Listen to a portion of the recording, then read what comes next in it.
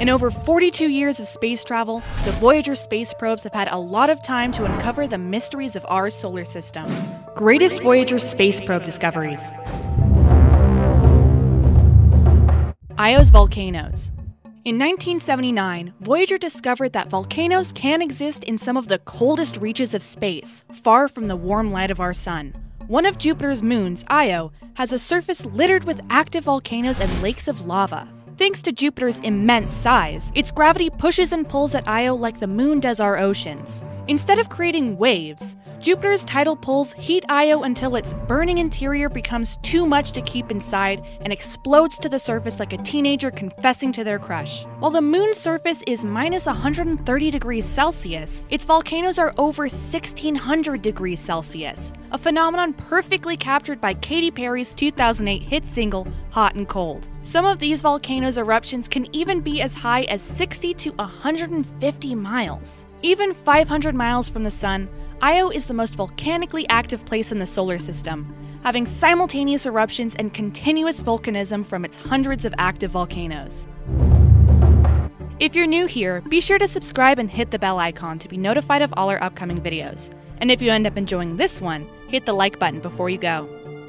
Europa's Ocean. Both Voyager probes got a good look at another Jovian moon, Europa, and scientists were surprised at what they saw. The surface lacked the mountains, craters, and any other wrinkles that would show the moon's incredible age. Instead, Europa had pimples and blemishes of crisscrossing cracks covering its face, revealing the surface to be that of an awkward teenager. Ice had filled up the cracks where they could, flowing in from somewhere. This meant two things. One, Europa's surface could move and shift, not quite like our planet's tectonic plates, but similar enough. And two, there was an ocean of warmer liquid below the surface the cracked ice was sliding across. This hidden ocean could hide all sorts of mysteries within its depths, which we still don't know 40 years after its discovery. It might even hold the secret to the origins of life. New moons. New moons aren't just a phase we see here on Earth, and Voyager showed us that there are quite a few more of them than we'd thought in our solar system. Both probes discovered a combined 24 new satellites 3 around Jupiter, 5 Saturn, 11 Uranus, and 5 Neptune. In true astronomer fashion, most of these moons were named along the same conventions as their planets. From Thebe to Naiad and Prometheus to Pandora, they were given mythological Greek names to go with their planet's Roman god counterparts. The sole exceptions were Uranus's moons, which were named after Shakespearean heroes, villains, and fools. I guess NASA scientists are too many fans of the bards to follow their own rules to the letter. Great Red Spot. We've possibly known about Jupiter's Great Red Spot for nearly as long as we've had telescopes capable of seeing it. Italian astronomer Giovanni Cassini had found a so called permanent spot in 1665, but he didn't know what it was. It was only when Voyager 1 reached Jupiter in 1979, 314 years after Cassini's recording, that scientists finally uncovered this mystery dot's identity. It was a giant storm 14,500 miles wide, large enough to fit three Earths inside. The spot's been shrinking since then, however, and is only just over 10,000 miles long.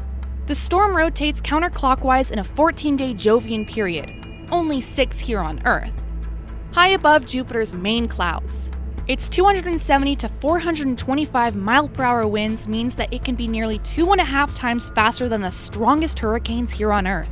While Voyager may have unlocked some of the secrets of this planetary birthmark, there's still one major mystery left to uncover why it's red. Termination shock. The reach of our sun's influence is incredibly large. Its solar winds, the electrically charged gas it blows from it at 700,000 to 1.5 million miles per hour, extends 7.8 billion to 8.7 billion miles from its surface. That's 84 to 94 times the distance between our planet and the Sun. These solar winds create a bubble around the Sun known as the heliosphere. Beyond the heliosphere, past a barrier known as the termination shock, the winds slow dramatically as they first contact the winds of interstellar space. When the Voyager probes crossed in 2004 and 2007, we learned something important about the heliosphere. It's a bit of a misnomer. It isn't a perfect sphere. Its southern pole is a billion miles closer to the Sun than its northern counterpart, which seems massive but is relatively small on a universal scale. There's also a second layer between the heliosphere and interstellar space, the heliosheath. By crossing the termination shock into the heliosheath, Voyager still had a long way to go before it finally left the solar system for good. Neptune's Great Dark Spot. In 1989, Voyager 2 passed by Neptune and discovered something never expected from the furthest planet from the Sun a great dark spot swirling on the surface. NASA had thought Neptune would be dormant without sunlight heating up its atmosphere. As it turns out, even 2.79 billion miles from the sun, it's not too cold for storms. In fact, it's perfect for brewing up trouble within the planet's frozen methane atmosphere. This is understandable. Being cold has never made me feel tired. I always just air my discomfort to everyone until either the heater kicks in or I get some hot cocoa in my hands. Why should Neptune, named after the god of the tumultuous seas, be any different? However, while Neptune's great dark spot might have been close to the size of Jupiter's famous cyclone, it wasn't nearly as long lived. The storm was already shrinking during Voyager's flyby. By the time we got another look at it in 1994, it was already long gone. Multiple ring systems. Before Voyager set off, cosmologists had thought that there was only one ring system to rule them all in the solar system, and it was Saturn's. Well, Uranus had also been discovered to have some in 1977, calculated as the planet passed in front of a star and occluded its brightness. However, the rings themselves had never been seen. When the Voyager probes finally reached our solar system's gas giants, they had photographic evidence that not just Uranus and Saturn had rings, but all four giants did. Jupiter's four rings, discovered by Voyager 1 in 1979, had been invisible for years. They were made of dust particles only visible when lit from behind by the sun or through infrared cameras. Neptune's rings were found 10 years later when Voyager 2 passed by.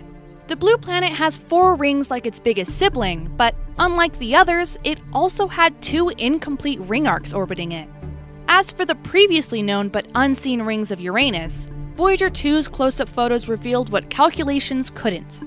Uranus had two more rings than previously thought 11 rather than 9. Triton's geysers. During Voyager 2's last flyby around Neptune before it headed on its way out of the solar system, the probe discovered that Io wasn't the only erupting moon in the galaxy. Triton, the blue planet's largest moon, had geysers pluming to its surface. However, while Io's volcanoes are thousands of degrees hotter than its sub freezing surface, Triton is like Elsa. When its geysers let it go, frosty nitrogen gas and unknown dark particles fly up to 5 miles into its nitrogen methane atmosphere, building itself an isolated icy kingdom. Interstellar space. Ridley Scott wasn't wholly right when he came up with Alien's tagline. Yes, in space no one can hear you scream, but that's only because most people aren't listening with the right tools. Space isn't silent. Plasma waves let off different radio frequencies depending on where they are in the universe. Here in the solar system, plasma is a low 300 Hz, inaudible to the human ear but detectable on Voyager systems. However, when Voyager 1 finally passed out of the heliosphere into interstellar space in August 2012, the plasma around the probe became denser and rose to a higher 2 to 3 kilohertz. The moment of this crossing was captured by a sudden, haunting screech of interstellar space. It was only this sound that even let us know that this momentous occasion, the first man made object making it past the heliosheath, had even happened. As it turns out, we might not be able to hear Sigourney Weaver screams out there, but spaces we're more than capable of. Voyager has gone to explore the furthest reaches of our solar system. What are the farthest reaches you've gone to in the name of adventure? Let me know in the comments below. 1. Jupiter's Lightning. Considering Jupiter's namesake famously wields a thunderbolt, NASA probably should have expected that the planet's enormous storms come with lightning, just like they do here on Earth. Space names have an unusual tendency to be prophetic after all.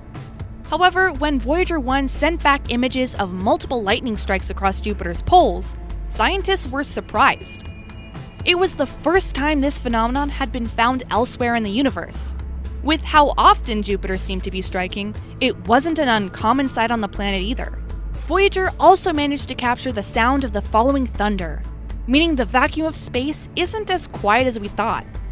In the recordings, the lightning chirps in a way more reminiscent of a Looney Tunes character comically falling off a cliff than the booming thunder we're used to.